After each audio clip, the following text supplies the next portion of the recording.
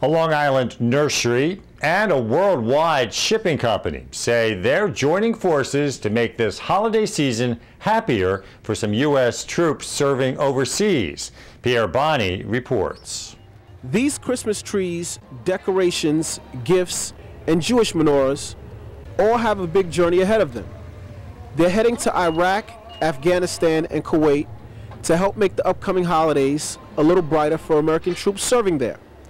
It's become an annual tradition here at Dee's Nursery in Oceanside, which both donates and collects the decorations and ornaments, and then works with DHL Express to make sure it all gets to the troops. So it's very heartwarming to hear the stories on, on uh, when you pass them of people you don't even know who are serving in the services who receive just a, a gift of kindness from people they may not ever meet. Yes. Uh, it's very heartwarming, and it's, it's very proudful for us at DHL to be a part of this.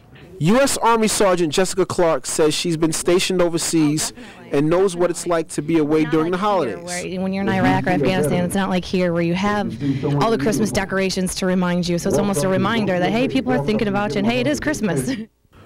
And along with the decorations, this bin is overflowing with cards and letters made by local school children addressed to the troops.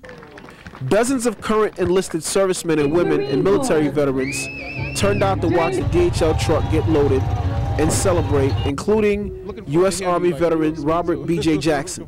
To see this and see the great people of New York step up like this to, to give them that piece of home and give them that boost of morale that they need at Christmas time when they're away from their families. The Christmas trees and holiday decorations will be loaded into this truck, and then from there on they'll be flown to the Middle East in a Boeing 767 cargo jet where it'll reach our troops. In Oceanside, Pierre Bonny, LI News Tonight. Thank you.